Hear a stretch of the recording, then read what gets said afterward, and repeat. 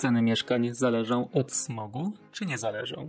W tym filmie pokażę Ci konkretne dokumenty, konkretne przykłady na to, jaki jest wpływ jakości powietrza na wartość Twojego największego majątku, czyli Twojego mieszkania.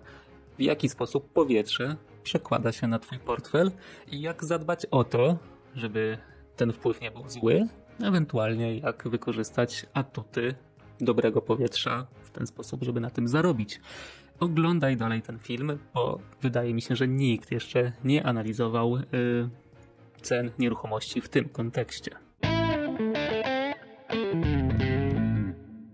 Ja nazywam się Darek i znam się na mieszkaniach. Kupuję je szybko i za gotówkę od ludzi takich jak ty, a na tym kanale dzielę się wiedzą, więc yy, po pierwsze subskrybuj ten kanał, yy, wciśnij dzwoneczek, żeby być zawsze na bieżąco. Po drugie, jeżeli sprzedajesz mieszkanie albo znasz kogoś, kto sprzedaje mieszkanie, zajrzyj do opisu filmu po moją ofertę. Kliknij w link, zobacz jakie gratisy, jaką wiedzę przygotowałem dla osób, które sprzedają mieszkanie i w jaki sposób mogę je kupić szybko i za gotówkę.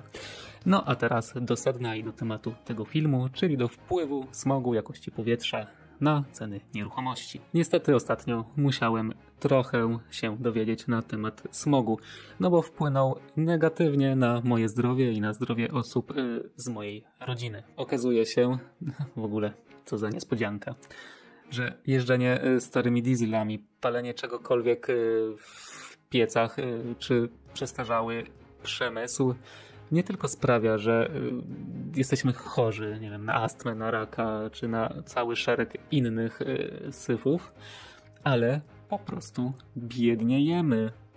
Zauważamy to w portfelu, czy być może nie zauważamy, ale zauważycie to dzięki temu filmowi, więc oglądajcie do końca. Popatrzcie tylko na to. Najpierw muszę się rozprawić z mitem, z przekonaniem, że smog to y, tylko kwestia powietrza na zewnątrz, y, czy przestrzeni na zewnątrz, albo na polu. Pozdrowienia dla Podkarpacia. Otóż nie. Zanieczyszczone powietrze to problem także we wnętrzu mieszkania. Wystarczy otworzyć okno i co czujemy? No, na pewno to znacie. Swąd palonej gumy, smród spalenizny. A czujnik pyłów 2,5 mikrometra, y, czyli tych naprawdę bardzo niebezpiecznych dla zdrowia człowieka, tych, które momentalnie przechodzą do krwioobiegu i do wszystkich tkanek już po pierwszym oddechu, y, no, wywalił ponad 100. Ponad 100 na liczniku. No to jest koszmarnie duża y, wartość, niebezpieczna dla zdrowia człowieka, nawet przy takim krótkotrwałej, przy takiej krótkotrwałej ekspozycji. To jest w ogóle poza wszelkimi normami. Bez oczyszczacza powietrza y, powietrze we wnętrzu mieszkania jest zanieczyszczone no, w około 50% tego, co na zewnątrz, tego, co się mówi w telewizji, czy co można odczytać w aplikacjach, czy na stacjach pomiarowych. Dopiero oczyszczacz sprawi, że już po kilku minutach odwietrzenia yy, powietrze we wnętrzu mieszkania będzie zdrowe i tak naprawdę nadające się do celu, do jakiego zostało stworzone mieszkanie, czyli do mieszkania w nim. Jednak koszt urządzenia i filtrów do niego chociaż duży i liczony w setkach złotych rocznie, nie jest największym wydatkiem i nie jest największym problemem związanym z nieruchomościami i powietrzem. Prawdziwym problemem jest utrata wartości nieruchomości w zanieczyszczonych y, miejscach, w zanieczyszczonych rejonach, a ta jest naprawdę bardzo realna. Y, zobaczcie tylko na to. Mam tutaj y, wycenę, raport o cenie mieszkań z firmy Urban One. No i w tym raporcie, w tej wycenie smog, średni poziom zanieczyszczenia powietrza przez cały rok z okolicznych stacji jest jednym z czynników branych pod uwagę w tym raporcie i przy tej wycenie. No, jest jednym z czynników, tak samo jak obok takich czynników, jak transakcje w sąsiedztwie, jak typ budynku, jak rok budynku, jak stan mieszkania, jak y, wskaźnik bezpieczeństwa, czy tym niebezpieczeństwa w dzielnicy. I jest to jeden z czynników które się bierze pod uwagę przy wycenie mieszkania. Niestety nie znam dokładnego wpływu, no bo ten algorytm jest tajemnicą firmy, no ale nie jest on pozytywny. Za chwilę opowiem Ci, jak odwrócić sytuację i zrobić cenowy atut y, z jakości powietrza w Twojej okolicy. No, oczywiście, o ile ta jakość powietrza jest y, dobra. No, ale najpierw, jeżeli podobało Ci się to, co dotąd powiedziałem, smyrnij ten przycisk lajka tutaj pod spodem, pod filmem, wciśnij go, y, bo to daje mi powera do działania. Dzięki temu wiem, że tam jesteście. No i to pomaga docierać z wiedzą o nieruchomościach do nowych e, osób. Więc bardzo, ale to bardzo Cię o to proszę. No a za chwilę porozmawiamy sobie o tym, jak wykorzystać jakość powietrza, żeby zarobić na nieruchomości. A ja właśnie odpalam kanarka. Tutaj mam y, mapę. Y, w komentarzu za chwilę wpiszę aktualny odczyt ze stacji w mojej y, okolicy. I Ciebie proszę o to samo.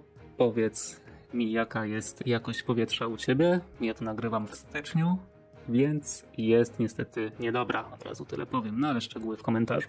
Coraz więcej osób jest świadomych ryzyka i niebezpieczeństwa związanego z jakością powietrza. Widok maseczek na ulicach nie jest niczym dziwnym już teraz i to nie tylko z powodu pandemii, no ale ten trend zaczął się o wiele wcześniej, właśnie z powodu smogu. Według mnie nieuniknione jest y, to, że społeczeństwo będzie coraz bardziej świadome tego problemu, y, że będzie poszukiwało y, mieszkań, miejsc, gdzie powietrze jest czyste, gmin, gdzie inwestuje się w jakość powietrza. Nieunikniona także według mnie będzie coraz większa świadomość uczestników rynku, do czego mam nadzieję przyczyni się ten filmik. Także miej świadomość, że jeżeli masz y, mieszkanie, nieruchomość w zanieczyszczonym miejscu, w dzielnicy czy w gminie, gdzie nie dba się o inwestycje, no to y, cena mieszkania może spadać albo może nie rosnąć tak szybko, jakbyś sobie tego życzył. Po prostu cena tego mieszkania będzie niższa niż takiego samego, ale w czystszej dzielnicy, w czystszym sąsiedztwie. Masz mieszkanie w okolicy z czystym powietrzem, bez smogu. Good for you, naprawdę. Nie sprzedawaj go nigdy w trosce o swoje zdrowie. Naprawdę, w Polsce to skarb, więc nie sprzedawaj tego mieszkania. A jeżeli już y, musisz je sprzedać, no to sprzedaj je mi. Albo zrób atut cenowy z tego faktu, czystego powietrza właśnie. Hotele i apartamenty y, w turystycznych miejscach już to robią. Często montują swoje własne y, czujniki po to, żeby naocznie mieć dowód, udowodnić potencjalnym gościom, że warto do nich przyjechać na odpoczynek. Więc możesz zrobić to samo ze swoim mieszkaniem na rynku wtórnym. Yy, zrobić atut właśnie yy, z tego, jeżeli jest tam dobre powietrze.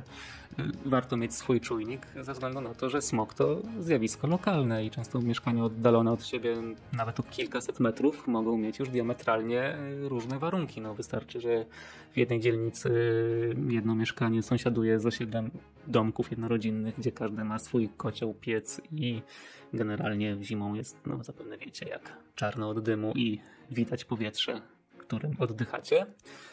A kilkaset metrów dalej podobne mieszkanie może sąsiadować z rzeką na przykład, albo parkiem, miejscem, gdzie jest zieleń, przewiew powietrza i yy, diametralnie to powietrze może się różnić. Uświadom tym potencjalnym kupcom, yy, jaką wartością jest to, że to mieszkanie porównując ledwo kilkaset metrów tą samą dzielnicę niby, ale jaką wartością jest to czyste powietrze? No bo jest i to ogromną i warto to zareklamować, warto to sprzedać, warto to umieścić w ogłoszeniu. A jak to zrobić? Jak zareklamować swoje mieszkanie na sprzedaż? Jak y, sprzedać je szybko? O tym mówię w innych filmach na swoim kanale. Właśnie się pojawiły tutaj miniaturki, więc kliknij w jedną z nich, y, oglądaj dalej, czerp wiedzę. No i pamiętaj, żeby każdy film lajkować, no bo wiedza na tym kanale jest yy, za co łaska, ale nie mniej niż like. Subskrybuj. Zobaczmy się w kolejnym filmie.